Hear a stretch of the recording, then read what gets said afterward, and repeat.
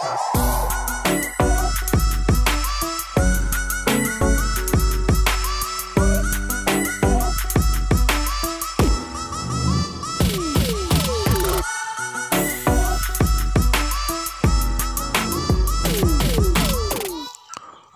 selamat pagi. Assalamualaikum warahmatullahi wabarakatuh, sahabat Rizwanji Channel, di mana pun sahabat berada.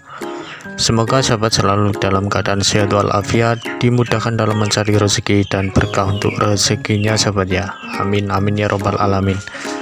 Oke, jadi di konten pagi ini, sahabat, saya akan menginfokan tentang pakan domba yang sudah menguning seperti ini sahabat ya jadi rumput-rumput yang saya kasihkan ke domba ini adalah rumput-rumput yang sudah tiga harian sahabat ya jadi yang awalnya rumput ini hijau tapi karena sudah tiga hari jadinya itu agak kekuning-kuningan sahabat ya.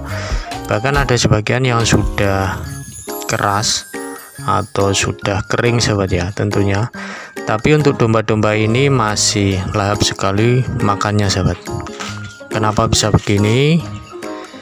Kenapa dombanya masih mau makan yang kering-kering seperti ini jadi sebelum kita lanjut ke videonya buat sahabat yang belum subscribe silahkan bisa di subscribe dulu tombol merahnya sahabat ya. Dan jangan lupa untuk selalu menyalakan loncengnya setiap kali sahabat uh, mensubscribe channel ini sahabat ya. Jadi sehabis di subscribe pastikan loncengnya sudah menyala Supaya saat Rizwanji channel nanti mengupload video terbaru, sahabat adalah yang pertama yang akan mendapatkan notifikasi video terbaru tersebut.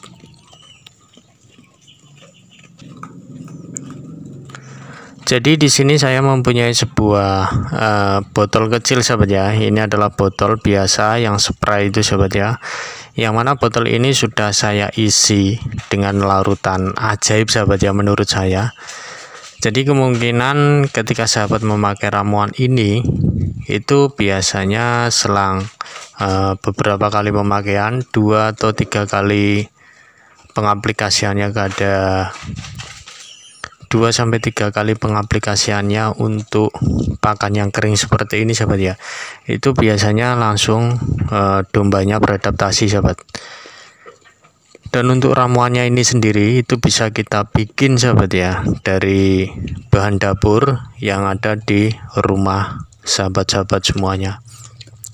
Jadi ini adalah campuran dari garam sahabat ya dan gula sahabat. Jadi saat sahabat ingin membuat ini pastikan eh, airnya itu direbus dulu sahabat ya. Perbandingannya untuk air eh, satu gelas itu biasanya saya menambahkan 2 1 sampai 2 sendok gula pasir maupun garamnya sahabat. Jadi setelah air mendidih lalu masukkan garam dengan gulanya sahabat. Kemudian diaduk sampai larut.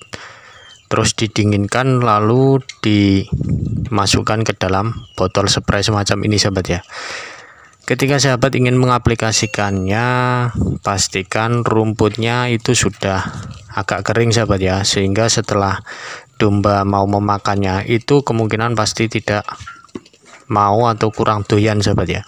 Jadi setelah kita menyemprot seperti ini ke rumputnya seperti ini sahabat ya. Ses, ses seperti ini. Ya nanti itu akan dijilati sama dombanya sahabat. Karena domba ataupun kambing itu biasanya cukup suka sekali dengan uh, asin campur manis sahabat. Jadi seperti itu sahabat ya. Dan kemungkinan untuk sahabat ketika mengaplikasiannya itu biasanya tidak langsung mau sahabat ya untuk dombanya ketika memakan rumput-rumput yang sebagian kering semacam ini sahabat. Karena apa? Karena biasanya domba itu juga ada yang Eh, kurang suka dengan asin sahabat ya atau rasa manis. Jadi perlu beradaptasi dulu kurang lebihnya sekitar 1 sampai 3 harian sahabat. Supaya nanti dombanya bisa e, merasakan larutan yang kita buat tapi untuk mempercepat itu biasanya kalau sahabat sering mencekoki domba dengan air garam ataupun campur gula sahabat ya itu biasanya dombanya cukup antusias sekali untuk langsung memakan uh, pakan yang sudah menguning ini sahabat. Jadi semacam itu sahabat ya. Sahabat bisa melihatnya sendiri bahwa larutan ini cukup ampuh sekali untuk uh, untuk menambah nafsu makan dombanya sahabat ya. Karena kemungkinan kalau saya uh, bisa amati di sini rumput yang kita semprot itu itu akan uh, berasa manis dan asin sahabat. Tentu seperti komboran yang biasa kita berikan sahabat ya itu kita kasih garam seperti itu. Jadinya untuk rumput ini sudah pasti rasanya asin dan manis jadi seperti ini sahabat ya. Sahabat bisa melihatnya sendiri. Dan ini cukup lahap sekali sahabat. Dan tipsnya ketika sahabat ingin memberikan pakan yang agak kering seperti ini. Itu sebaiknya diberikan ketika domba benar-benar lapar sahabat. Oke dan ketika domba benar-benar lapar itu biasanya uh, untuk rumputnya itu walaupun tidak disemprot dengan ini itu biasanya kalau dombanya sudah pernah memakan yang kering-kering itu biasanya cukup uh, antusias sekali sahabat ya untuk memakan Eh, rumput meskipun rumputnya sudah kering semacam ini sahabat ya. Jadi kita sebenarnya tidak perlu lagi melakukan atau menggunakan uh, ramuan ajaib ini sahabat. Jadi seperti itu sahabat ya. Nah ini yang kecil ini juga cukup antusias sekali sahabat ya untuk memakan rumput yang kering semacam ini Jadi ini bermanfaat sekali untuk sahabat ketika sahabat mempunyai rumput-rumput sisa semacam ini sahabat ya. Nah ketika domba kita kasih makan rumput itu biasanya ada sisa dan sisanya itu akan uh, mengering seperti ini itu kita bisa memanfaatkannya lagi untuk pakan ulang sahabat.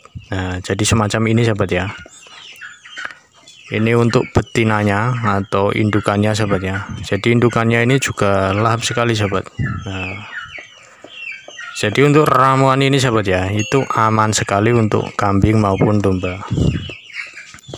Jadi seperti ini sahabat ya. Mudah-mudahan video ini bisa bermanfaat atau bisa diambil manfaatnya dan apabila ada yang uh, kurang bermanfaat bisa sahabat tinggalkan dan ambil yang bermanfaat Oke, terima kasih untuk konten kali ini. Saya rasa cukup sampai di sini sahabat ya. Apabila ada salah kata dalam pengucapan maupun dalam pengambilan video yang mungkin kurang berkenan di hati sahabat Rizwanji semuanya, saya minta maaf yang sebesar-besarnya. Oke, terima kasih. Wassalamualaikum warahmatullahi wabarakatuh. Rizwanji channel. Nah, oke oke, lap sekali ini sahabat.